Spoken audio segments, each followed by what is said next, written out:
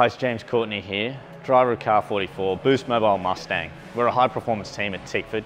This is a high performance machine, needs high performance oil, Castrol. Good example of the level of performance at this team is at Tailem Bend I had an accident, turn one, looking really, really good, got hit by another car. On the exit, Courtney's in strife. As I pulled into the garage to see the guys running from, you know, the three garages up from my car and, you know, the other team cars running down to assist to try and get the car repaired, get it out, keep that Castrol brand running around was, uh, was amazing. And, and to be a new guy at the team and to see that level of teamwork and competitiveness was, uh, was really good and reassuring for me and, and uh, should be reassuring for everyone supporting Castrol.